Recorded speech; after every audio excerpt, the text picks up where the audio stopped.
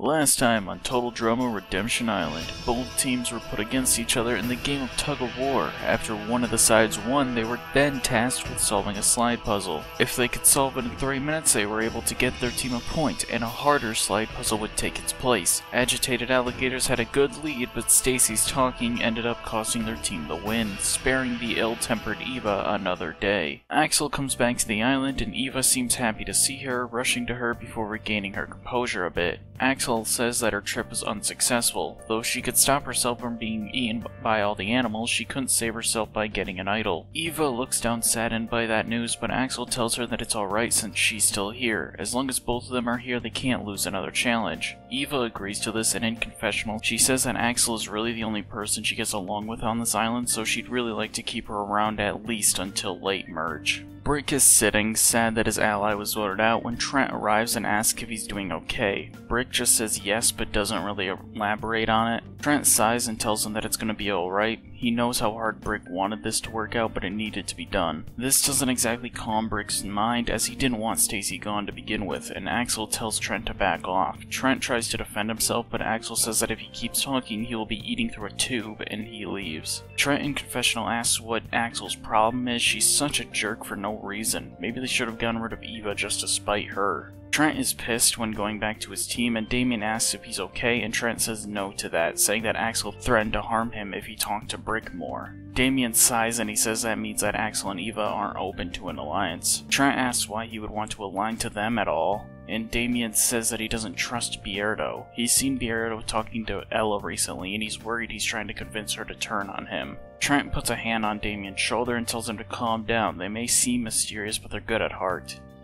Axel tells Brick that they are going to be picked off one by one unless they make a stand. They cast first blood, so the next loss should be one of theirs. Brick asks how they can do that when they only have three members, and Axel says that's the fun part. They only need three members as long as the other team sends someone else to Boney Island. On the Ravenous Raccoons, everyone is enjoying the luxury treatment, and Sammy asks if they really have to go to another challenge, and Justin says that this just makes him want to win all the time. Dave says that they were the ones who contributed the least to last week's challenge, though, and Justin says that in the end it doesn't matter if they're here with him. Dave is pissed off, and Jo comforts him, saying that they could vote one of them off if the need arises. Justin looks around and asks if anyone's seen Dumb, Dumber, and Dumbest around, and outside Tyler, Wayne, and Raj are competing in physical challenges to see who is the most physically gifted one here. Before Tyler can win the foot race, the intercom distracts him and he trips, falling face first as Wayne beats him. Chris then tells them that it's challenge time. This challenge is pretty straightforward. One team member will be locked in a glass pod while everyone else must work to free them by collecting numbers. At the end, they must figure out what order they go in to release their trapped victim. Ravenous raccoons will have to sit someone out since they have an extra member.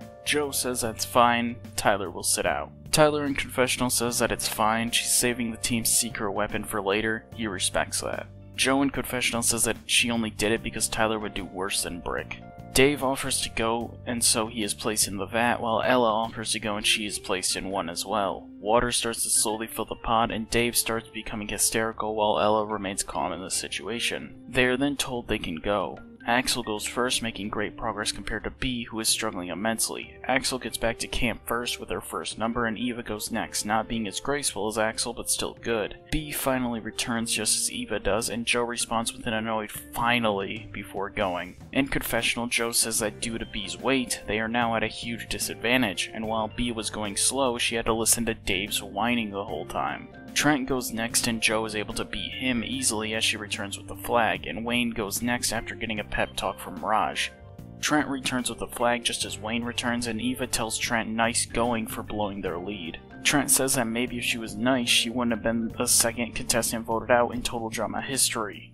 Beardo goes next and is doing well until he slips on the oil and hits his balls on it. Axel rolls her eyes. Raj tells Beardo to walk it off, he'll be okay, before swinging and grabbing another number. Beardo gets up and grabs his number after that. Sammy goes next and she rocks the course while Brick is constantly being hit by the worst of it. Justin goes and charms the bears to not attack him as he climbs and swings to his number as Brick finally gets his number. The ravenous raccoons must now solve the puzzle and Dave rushes them to figure it out. Wayne in confessional says that he doesn't like Dave's negative energy and Raj says that it's a total bummer bro. Damien is the final member to return on the agitated alligators, and he assembles them by the order they were obtained in, and the pod opens. Trent tells him good job and asks how he knew that, and Damien just said that honestly it was just a guess. Jo is pissed off by the other team winning and she puts the combination in and Dave is released. Dave tells him good going losing like that before storming off. When asked who they'll send to Boney Island, Axel says that it's time to pay Jo back and she sends Jo to Boney Island. Jo rolls her eyes and says that's fine, if Lightning survived that, she can too. Chris then says that he will see the Ravenous Raccoons at Elimination tonight. At Elimination, Chris says that marshmallows represent life. If they do not receive a marshmallow, they must walk the dock of shame, board the boat of losers, and they can't come back. Ever. But first, Chef, tell us why they may be eliminated. B. You were the most pathetic one in the challenge. If you could have gone faster, your team would have been in the lead by a mile. Tyler, you didn't go in B's place when you realistically could have and maybe even done better than B. Tyler in confessional asks how that is his fault when Jo made him sit out. And Dave, your negative emotions didn't help your team solve the puzzle and may have even made them worse. Dave scoffs at that and Chef says that that attitude is what he's talking about. Chris interrupts them and says that with that being said, here's who is safe.